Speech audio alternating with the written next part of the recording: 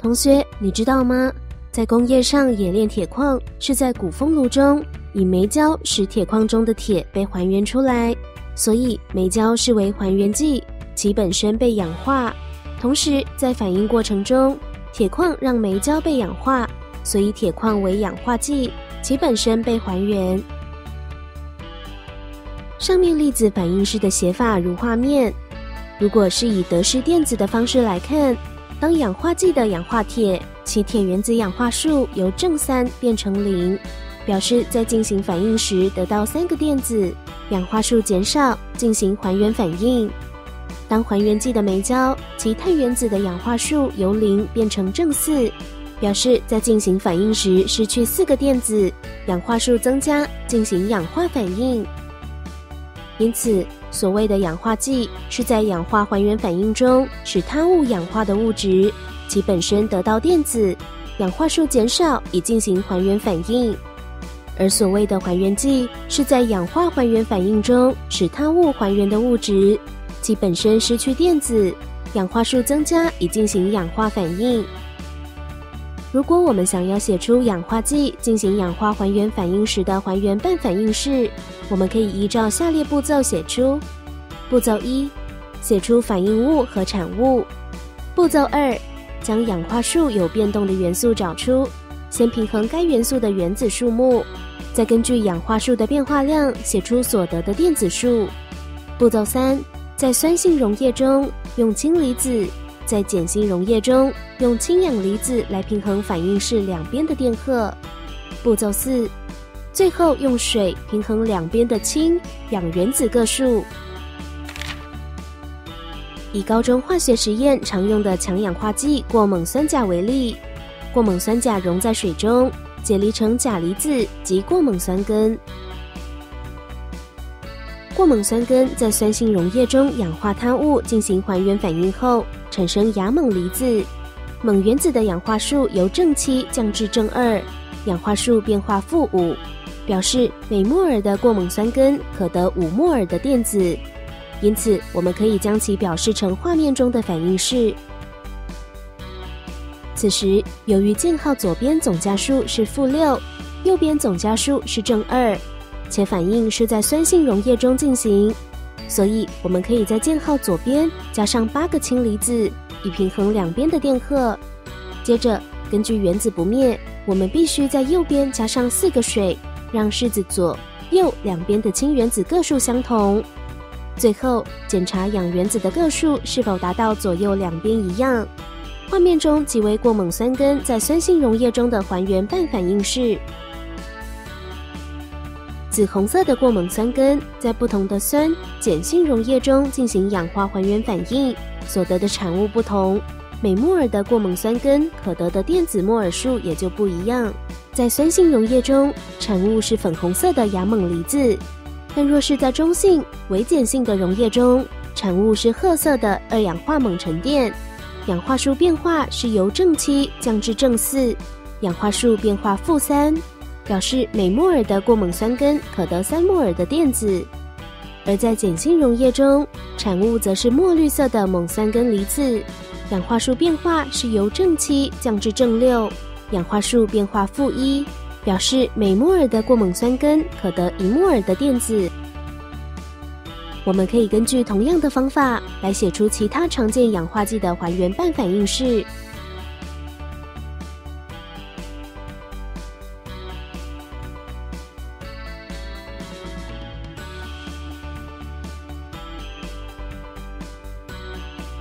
我们想要写出还原剂进行氧化还原反应时的氧化半反应式，则我们可以依照下列步骤写出：步骤一，写出反应物和产物；步骤二，将氧化数有变动的元素找出，先平衡该元素的原子数目，再根据氧化数的变化量写出所失去的电子数；步骤三，在酸性溶液中用氢离子，在碱性溶液中。用氢氧离子来平衡反应式两边的电荷。步骤四，最后用水平衡两边的氢氧原子个数。以过氧化氢为例，作为还原剂时，化合物中的氧原子经氧化反应后变成了氧气，其氧化数由负一上升至零。由于有两个氧原子参与反应，因此氧化数变化为正一乘以二等于正二，表示每摩尔的过氧化氢可失去二摩尔的电子。由于反应式左边总电荷为零，右边为负二，故在右边写上两个氢离子以平衡电荷。最后检查左右两边的氢氧原子个数恰好相等，因此。画面上为过氧化氢的氧化半反应式。我们可以根据同样的方法来写出其他常见还原剂的氧化半反应式。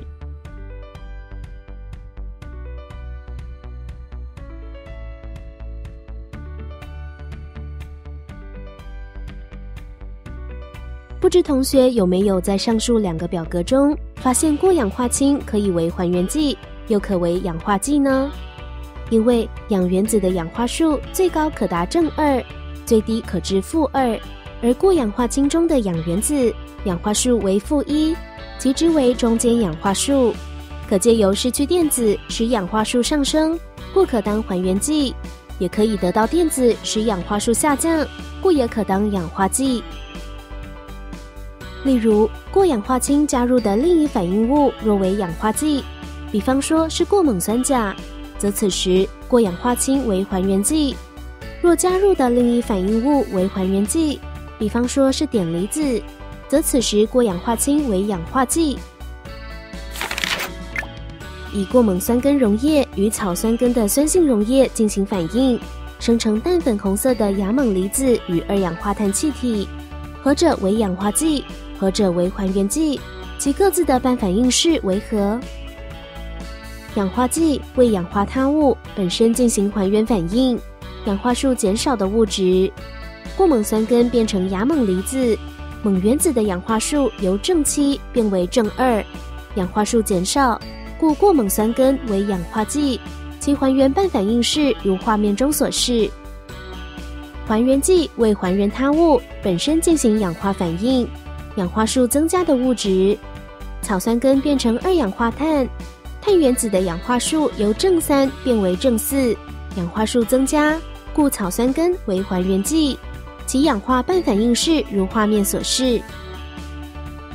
由于会自发的氧化还原反应是强氧化剂加强还原剂变为弱氧化剂加弱还原剂，因此我们可以经由反应是否会自发来比较得知氧化剂与还原剂的相对强度。例如，已知画面中化学式为自发性的氧化还原反应，则还原剂强度及还原力大小为锌大于银；氧化剂强度及氧化力大小为银离子大于锌离子。已知锰加锌离子变为锌加锰离子，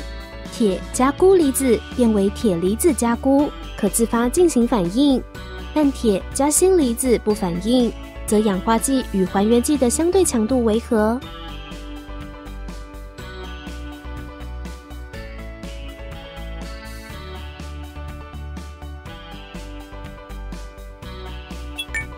同学们，我们来回顾一下这个单元学到了什么？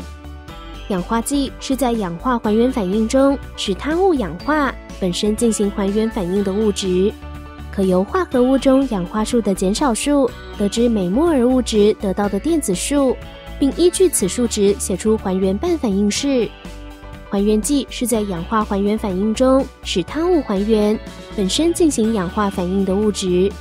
可由化合物中氧化数的增加数得知每摩尔物质失去的电子数，并依据此数值写出氧化半反应式。有些物质在遇到不同的反应物，可以扮演氧化剂，也有可能是还原剂。例如，具有中间氧化数的过氧化氢。自发性的氧化还原反应，其形式如画面所示，因此可以经由反应是否会自发来比较得知氧化剂与还原剂的相对强度。同学们，看完本单元，你是否已经学会氧化剂与还原剂的原理了呢？欢迎与我们分享你的学习心得哦，我们下次见。